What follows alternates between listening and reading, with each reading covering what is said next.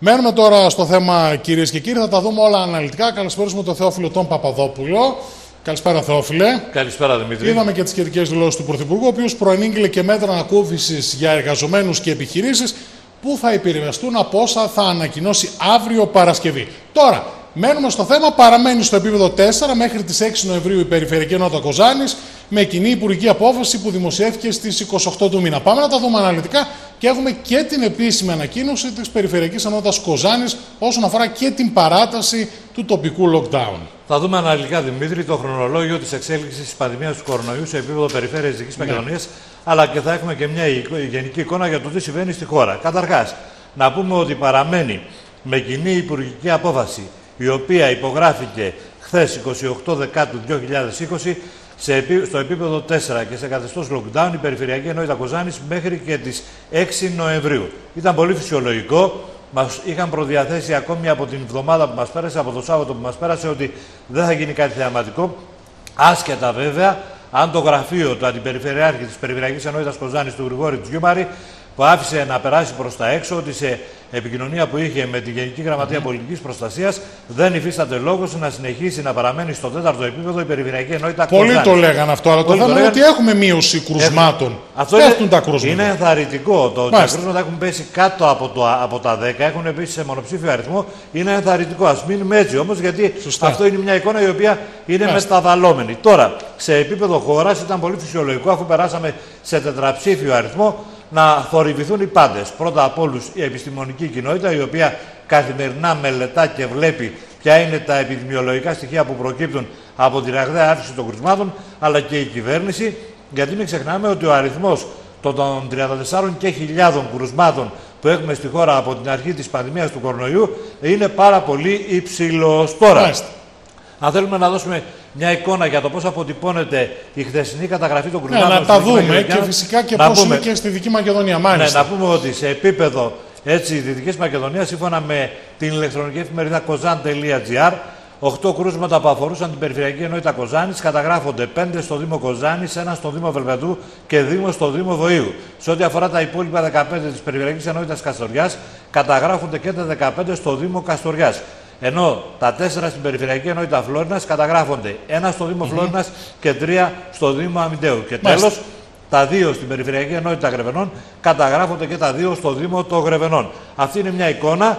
Επίσης, έχουμε επιβεβαιωμένο κρούσμα κορονοϊού και στο Γενικό Λύκειο Αμυντέου, όπου έχουμε μια ανακοίνωση που δόθηκε από την πλευρά της Διευθύντριας Δευτεροβάθμια Εκπαίδευσης Φλόρινας της Ευγενίας της Μαρνέρη, η οποία αναστέλει τη λειτουργία του τμήμα του Γενικού Λυκείου Αμυντέου λόγω επιβεβαιωμένου κρούσματος κορονοϊού. Συγκεκριμένα, το τμήμα Α1 της πρώτης τάξης του Γενικού Λυκείου Αμυντέου λόγω κρούσματος κορονοϊού θα αναστείλει τη λειτουργία του για χρονικό διάστημα 14 ημερών. Δηλαδή, από την τελευταία επαφή του επιβεβαιωμένου κρούσματος με τους συμμαθητές 22 Δεκάτου έγινε η επαφή, μέχρι και την 5η 5 Ενδεκάτου θα είναι η αναστολή ναι, είναι ένα δημοσίευμα από το News 24gr το οποίο υπογράφει η Βίβιαν Ευαγγέλου Μισηλή, συνάδελφος, από την ευρύτερη περιοχή. Ε, δεν ξέρω αν έχουμε κάτι άλλο για τον κορονοϊό. Έχουμε, για έχουμε να, δώσουμε, να ναι. δώσουμε την ενημέρωση των πολιτών που γίνεται σε επίπεδο περιφερειακής ναι, Πριν πάμε εκεί, να πούμε ότι υπήρχε και μια οργή του Πρωθυπουργού Κυριάκου Μητσοτάκη για τη στοχοποίηση της Χιόδρα από τον ΣΥΡΙΖΑ Χτυπήστε μένα και αφήστε τους επιστήμονες, τόνισε ο Πρωθυπουργός. Είδαμε και τις σχετικές του δηλώσεις ε, στην αρχή, γιατί ο κύριος Τσιόδρας, να πούμε ότι επανεμφανίστηκε τις προηγούμενες μέρες με αφορμή ότι τα κρούσματα ξεπέρασαν τα χίλια τι ε, προηγούμενε μέρες και έχουμε αυτή την αρνητική εικόνα πλέον για τον κορονοϊό σε όλη τη χώρα.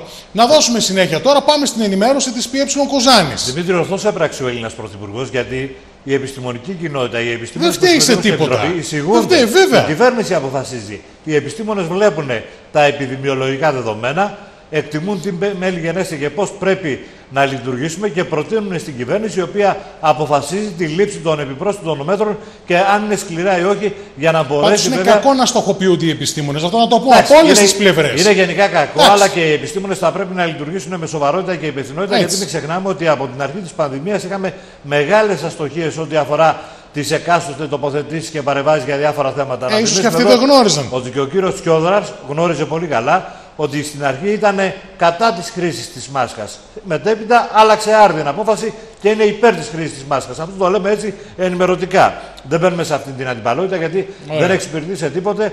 Πάνω απ' όλα προέχει η υγεία των πολιτών. Τώρα, Η Συντονιστική Επιτροπή Πολιτών η ΠΕ Κοζάνη ενημερώνει τους πολίτες ότι την 3η 27 Οκτωβρίου πραγματοποιήθηκαν από κλιμάκια της Περιφερειακής Ενότητας συγκεκριμένη έλεγχη, όπου διαπιστώθηκε σε μία περίπτωση σε επιχειρήσεις του Δήμου Σερβίων η μη τήρηση των μέτρων προστασίας. Ακόμη να πούμε ότι έγιναν 9 έλεγχοι σε καταστήματα υγειονομικού ενδιαφέροντος σε τοπικές κοινότητες της Δημοτικής Ενότητας Εορδάς, όπου παρατηρήθηκε επαρκής στήριξη των μέτρων προστασίας. Και αναλυτικά παραθέτουμε βέβαια και γίνεται ενημέρωση για τις σχολικές μονάδες που βρίσκονται σε επίπεδο περιφερειακής ενότητας Κοζάνης, οι οποίες είναι τις πούμε όμως, λειτουργίας. Για να τις γνωρίζουν πλέον οι τηλεθεατές που μας βλέπουν, ποιες μονάδες δεν λειτουργούν. Έχουμε αναστολή λειτουργίας της Β τάξης του 4ου Δημοτικού Σχολείου Σερβίων για διάστημα 7 ημερών μέχρι και 30 Δεκάτου.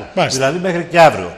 Επίσης, έχουμε αναστολή λειτουργίας της ΣΥΓΜΑΤΑ τάξης του Δημοτικού Σχολείου Πλατανορεύματος για διάστημα 14 ημερών από 16 Δεκάτου μέχρι και σήμερα. Σήμερα είναι η τελευταία μέρα. Επίσης, έχουμε την αναστολή λειτουργίας της ΓΑΜΑ τάξης του 12ου Δημοτικού Σχολείου Κοζάνης για διάστημα 14 ημερών από 17 Δεκάτου μέχρι και αύριο 30 Δεκάτου.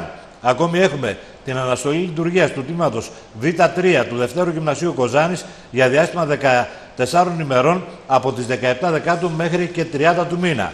Ακόμη έχουμε την εξολοκλήρου αναστολή λειτουργίας του 12ου νηπιαγωγείου Πτολεμαίδας για διάστημα 14 ημερών από 24 Δεκάτου έως και 6 Ενδεκάτου 2020. Ακόμη, έχουμε την αναστολή λειτουργίας του τμήματος Α3 του 4ου Γυμνασίου Κοζάνης για διάστημα 14 ημερών από 24 Δεκάτου μέχρι και 6 Ενδεκάτου. Ακόμη την αναστολή λειτουργίας του τμήματος Α1 του 4ου Γυμνασίου Κοζάνης για διάστημα 14 ημερών από 27 Δεκάτου μέχρι και 9 Ενδεκάτου η αναστολή λειτουργίας του τμήματος Γ1 του ΕΚ του Δημογυμνασίου Κοζάνης για διάστημα 11 ημερών από 26 Δεκάτου μέχρι και 5 Δεκάτου και τέλος την αναστολή λειτουργίας των τμήματων Β1 και Β2 του 3ου Γενικού Επαγγελματικού Λυκείου Κοζάνης για διάστημα 10 ημερών από 27 Δεκάτου μέχρι και 5 Δεκάτου 2020. Αυτά είναι όσον αφορά το πώς θα λειτουργήσουν οι σχολικές μονάδες Είναι σημαντικό αυτό. Τη ΠΕ Κοζάνης. Όσοι γονείς θέλουν να έχουν μια πιο αναλυτική εικόνα μπορούν καθημερινά να μπαίνουν στην ιστοσελίδα του Υπουργείου Παιδείας και Θρησκευμάτων και εκεί να συνέχεια ανα, ναι, να ενημερώνονται αναλυτικά για το πώς διαμορφώνεται ανα πάσα στιγμή η εικόνα των σχολικών μονάδων που είναι σε αναστολή. Τώρα πάμε στις επιχειρήσεις. Να πούμε ότι την Κυριακή 1 Νοεμβρίου ξεκινούν οι ενδιάμεσες εκτόσει. Θα διαρκέσουν ως και τις 15 του Νοέμβρη. Αλλά πούμε ότι με σημερινή ανακοίνωση η Γενική Γραμματεία Εμπορίου Προστασίας του Καταναλωτή του Υπουργείου Ανάπτυξης και Παιδίσεων ενημερώνει το καταναλωτικό κοινό και τις επιχειρήσεις ότι λόγω των έκτατων μέτρων που λαμβάνονται για την αντιμετώπιση και τον περιορισμό της διασποράς του κορονοϊού COVID-19, την προσεχή Κυριακή 1 Νοεμβρίου, παρά τα όσα ορίζονται στις διατάξεις των άρθρων του συγκεκριμένου νόμου, δεν θα λειτουργήσουν τα εμπορικά καταστήματα της χώρας, θα παραμείνουν κλειστά. Δώσε μας το ρεπορτάζ. Θα δώσουμε την ανακοίνωση βέβαια που έδωσε στη δημοσιότητα ο Εμπορικός Σύλλογος Πτολεμαίδα που γνωστοποιεί στους πολίτε ότι από την Κυριακή 1 Νοεμβρίου ξεκινούν οι χειμερινές ενδιάμεσες εκτόσει και θα διαρκέσουν μέχρι και την 5η 15 Νοεμβρίου με όλα αυτά που σωστά προανέφερες ότι έχουμε τελευταία στιγμή όσο αφορά Απλά να πούμε για μία ακόμη φορά τα καταστήματα, τα εμπορικά καταστήματα της χώρας θα παραμείνουν κλειστά λόγω και του κορονοϊού. Τώρα, πριν πάμε στην αστυνομία, Πάμε και στους ανάργυρους εκεί να δούμε ένα ρεπορτάζ όσον αφορά τι γίνεται με, την κατάστα... με τη μετακατάσταση του οικισμού, τις τελευταίες εξελίξεις. Δημήτρη, η τηλεόραση του West είναι η τηλεόραση που στάθηκε και στέκεται δίπλα στους κατοίκους της κοινότητας Αναργίων, οι οποίοι αντιμετωπίζουν σοβαρά και μεγάλα προβλήματα, τα οποία απορρέουν μέσα από την διαδικασία της απαλωτρίωσης και τη μετακατάστασή τους σε χώρο που έχει επιλεγεί στο Δήμο Ιορδέα στη θέση Κουρί. Έχει και δραστήριο πρόεδρος τώρα, ναι. Γιώργος Τσισμαλίδη εκεί, γι' αυτό βγαίνει τέσσερις φορές. Υπάρχουν πολλά προβλήματα και δυστυχώς υπάρχουν και με μεγάλες επιπολαιότητες από τους φορείς που εμπλέκονται σε ό,τι αφορά την αντιμετώπιση κρίσιμων ζητημάτων. Γιατί μην ξεχνάμε ότι η καθημερινότητα, η ζωή δεν έχει σταματήσει να υφίσταται στην κοινότητα αναργύρων, η οποία έχει τα δικά της προβλήματα. Καταρχάς, να ξεκινήσουμε από τον έμφυα. Εδώ είχαμε τα έξι αφήξεις του Γιάννη Αντωνιάδη, βουλευτή Φλόρινα της Περιφερειακής Ενότητας Φλόρινα της Νέας Δημοκρατίας, ο οποίος άλλα έλεγε τη μία στιγμή, άλλα έλεγε την άλλη και άλλα συνεχίζει να λέει. Αυτό βέβαια δεν είναι σοβαρή πολιτική λειτουργία, δεν είναι υπεύθυνη στάση απέναντι σε μια τοπική κοινωνία η οποία έχει τα προβλήματά της. Τι γίνεται με τον έμφυα; Οι άνθρωποι, οι κάτοικοι πληρώνουν κανονικά τον έμφυα που τους αναλογεί. Τώρα, στις 7 Απριλίου του 2021 περιμένουμε να γίνει η δικάσιμος η οποία θα αποφασίσει για την οριστική τιμή σε ό,τι αφορά τις απαλωτριώσεις των κατοικιών.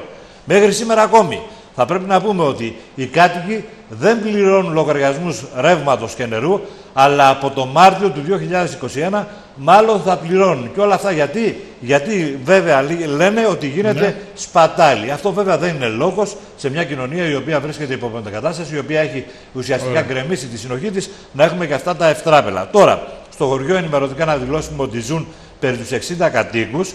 Ακόμη να πούμε ότι η απαλωτρίωση αφορά το δημόσιο και όχι την ΔΕΗ. Αυτή είναι μια ιδιαιτερότητα εξού και ναι, τα ναι. προβλήματα. Δεν έχει δοθεί μέχρι σήμερα σε ό,τι αφορά τις απαλωτριάσεις ούτε ένα ευρώ. Αυτά είναι όλα στοιχεία τα οποία έχουμε συλλέξει μέσα από τη συζήτηση που είχαμε πρόσφατα με τον πρόεδρο της κοινότητας, τον Γιώργο τον Τσιμαλίδη. Επίσης, να πούμε ότι οι κάτοικοι τους δηλώνουν απαγοητευμένοι από τη συμπεριφορά του συνόλου του πολιτικού προσωπικού της περιοχής. Δεν είναι το πολιτικό προσωπικό της περιοχής δεν έχει σταθεί στο ύψος των περιστάσεων και των απαιτήσεων. Δυστυχώς αυτό έχει απαγοητεύσει τους κατοίκους. Α πούμε ότι σε αντίθεση με το πολιτικό προσωπικό είναι υπερευχαριστημένοι από την προηγούμενη και νυν περιφερειακή αρχή σε ό,τι αφορά την αγωνία και τις προσπάθειες που καταβάλλονται για να λυθούν τα προβλήματά τους και τώρα να έρθουμε βέβαια σε ένα θέμα το οποίο καίει και αφορά βέβαια τα ενίκια. Να πούμε ότι Γνωρίζουμε το θέμα αυτό ακόμη από το 2017, όταν αναγκαστήκαν πολλοί από τους κατοίκους να φύγουν σε άλλες περιοχές. Καλή ώρα οι περισσότεροι σήμερα διαμένουν στην Τολεμαίδα. Εδώ να πούμε ότι η πληρωμή των ενοικίων συνεχίζεται και πληρώνεται εξ ολοκλήρου από τη ΔΕΗ και θα γίνεται αυτό μέχρι τις 11 Έκτου του 2021. Συγκεκριμένα τα στοιχεία που μας έχουν δώσει αφορούν 55 κατοίκους οι οποίοι βρίσκονται σε καθεστώς ενοικίων.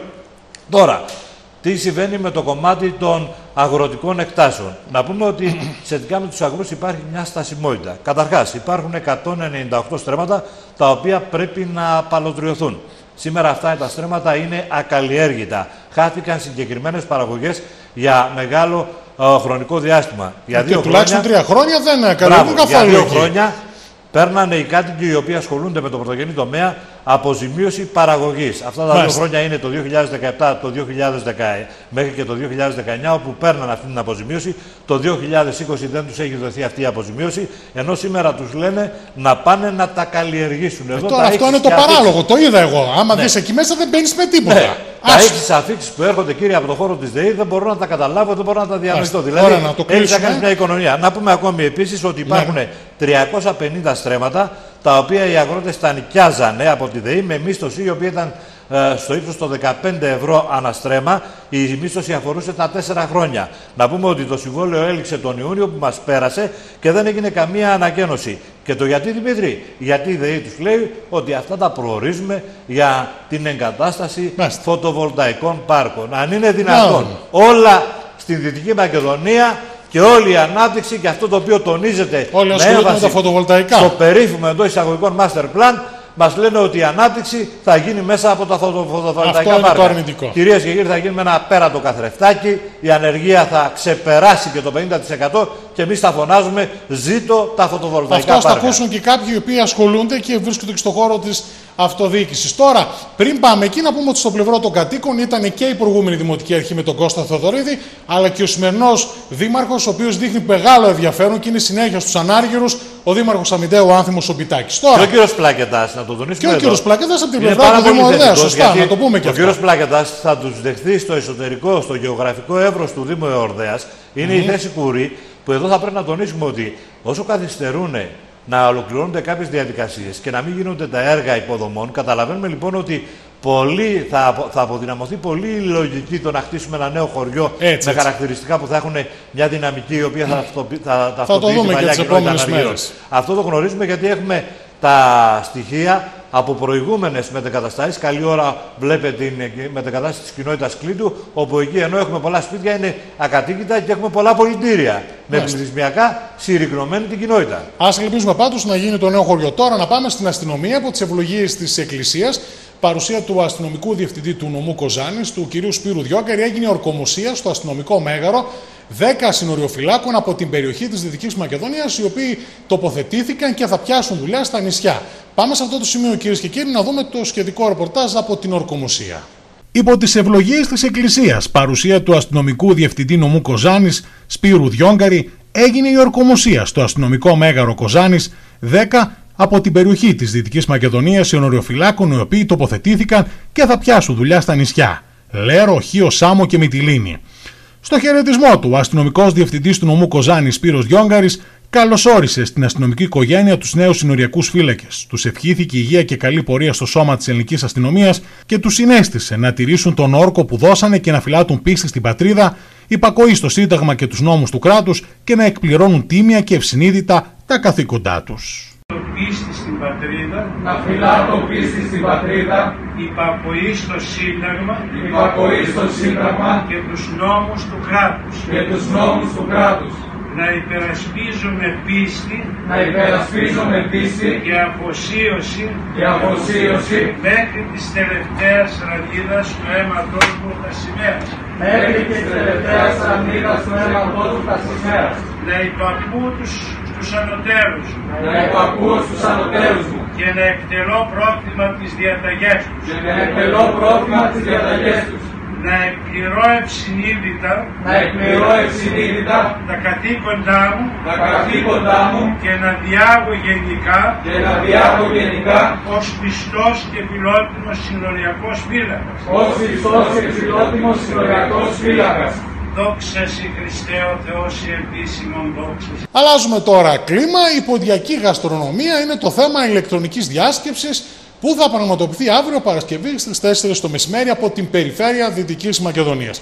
Δίνει πολλά όσον αφορά τη γαστρονομία ο Περιφερειάρχης ο Γιώργος ο Κασαπίδης. Είναι Πάμε να δούμε τώρα. καταγωγής. Ο Ναι. Γιώργος ο Κασαπίδης, το γνωρίζουν οι πάντες, είναι ποντιακής καταγωγής. Έχει Ήταν- και ωραία γαστρονομία όμως ο Όταν ποντιακός ακόμη, χώρος. όταν ακόμη ναι, ήταν φοιτητής, ήταν οργανωμένος στον χώρο της ποντιακής νεολαίας. Καταλαβαίνουμε λοιπόν ότι έχει μια ιδιαίτερη κλίση, πολύ φυσιολογικό, στον ποντιακό χώρο. Τώρα, με δική του πρωτοβουλία βέβαια, θα πραγματοποιηθεί μια ηλεκτρονική διάσκεψη με θέμα η ποντιακή διατροφή ως μοχλός ανάπτυξης και υγείας. Να πούμε η διάσκεψη αυτή θα γίνει την Παρασκευή 4 το μεσημέρι και θα προβληθεί από το κανάλι στο YouTube της Περιφέρειας Δυτικής Μακεδονίας. Να πούμε ότι την όλη εκδήλωση θα συντονίζει ο Περιφερειάρχης Δυτικής Μακεδονίας ο Γιώργος ο Κασαπίδης και ο μιλητές θα είναι ο Σαβίδης Τομάς, καθηγητής βοτανικής τμήμα βιολογίας του Αριστοτέλειου Πανεπιστήμιου Θεσσαλονίκης. Μάλιστα. Η Καλημέρη Ευσταθία, διατροφολόγος. Η Βλάχου η Χαρίτα, καθηγήτρια στη Γεωπονική Σχολή του Αριστοτελείου Πανεπιστημίου Θεσσαλονίκης. Ο Παναγούλιας ο Ναούμ, ιδιοκτήτης εταιρείας Ζυμαρικών Τασιούλα. Η Γκαμπούρα η Νανά, η οποία είναι σεφ. Και τέλος, Και ο αντιδήμαρχος Κώστας- Σερβίου. ο Κώστας ο Τζαναξίδης, ο οποίος είναι καθηγητής στο τμήμα Χημικών Μηχανικών του Πανεπιστημίου Ωραία. Δυτικής Μακεδονίας. Είναι μια πολύ σοβαρή εκδήλωση, γιατί μην ξεχνάμε ότι πρόσφατα υπήρχε στο περιοδικό Γαστρονόμος της Καθημερινής ειδικό αφιέρωμα για την ποντιακή Θα κουζίνα την και παρακολουθήσουμε γαστρονομία. και έχει ιδιαίτερο ενδιαφέρον. Τώρα, πάμε να κλείσουμε με διακοπές ρεύματος για να πάμε μετά και στην χθεσινή έτσι, εορτή της 28 Οκτωβρίου. Έτσι ακριβώς είναι Δημήτρη. Έχουμε μια ενημέρωση που δόθηκε νωρίς σήμερα το μεσημέρι στη δημοσιότητα από τον ΔΔΕ, όπου ανακοινώνει ότι την Κυριακή 1 Νοεμβρίου 2020 θα γίνει διακοπή ηλεκτρικού ρεύματος από τις 8 και 30 το πρωί μέχρι και τις 11 στους εξής οικισμούς: Ποντοκόμη, Μαυροπηγή, Μαυροδέντρη, Λιγερή, Καρδιά, Εξοχή, Κύλα, Νέα Νικόπολη, περιοχή ΤΕΗ και ξενοδοχείο Νεφέλη. Μάλιστα. Την Κυριακή, μία του μήνα κυρίες και κύριοι, από τις 8 και 30 το πρωί μέχρι και τις 11 Ωραία, για να το πρωί. γνωρίζουν οι τηλεδατές μας, τώρα θα κλείσουμε με την έπαρση σημαίας που πραγματοποιήθηκε χθες ανήμερα της 28 Οκτωβρίου στη Λαγοράχη Βερμίου, στα 1140 μέτρα, από παρέα παιδιών από τον Άγιο Χαράλη από Κοζάνης, Κωστής, Πολύκαρπος, Γιώτης, Διαμαντής, Παναγιώτης, Βάιος Μιχάλης, Γιάννης, Νικολέτα, σήκωσαν την ελληνική σημαία τιμώντας την εθνική επέτειο της 28 Οκτωβρίου. Να πάμε να το δούμε το σχετικό βίντεο από αξίζει της προσοχής όλων μας κυρίες και κύριοι.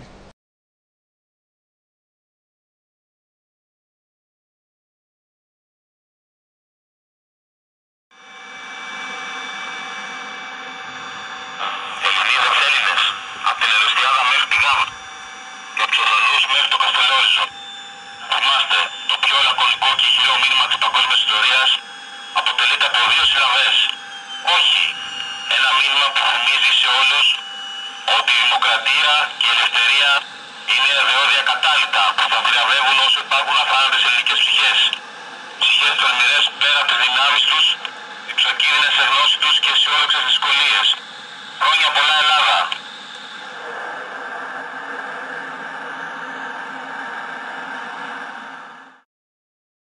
Πώς μας ακούς? Δυνατά καθαρά. Ασύρμα το δικό σου. Τούτος δω ο λαός δεν γονατίζει παρά μονάχα μπροστά στους εχθρούς του. Χρόνια πολλά Θεσσαλονίκη. πολλά Μακεδονία. Χρόνια πολλά Ελλάδα. Τζεφ 1-3. Πώς μας ακούς; Μιλάμε για χαρά. Χρόνια πολλά Θεσσαλονίκη. Χρόνια πολλά Μακεδονία. Χρόνια πολλά Ελλάδα. Η ελληνική ομάδα αεροπορικών επιδείξεων έρχεται σε όλους τους Έλληνες. Από το Ρωμένιο ως τη Γάβδο. Από τους Οφθονούς ως το Καστελόριζο. Χρόνια πολλά. Και σας καλεί και άλλη μια φορά. Σηκώστε το κεφάλι ψηλά.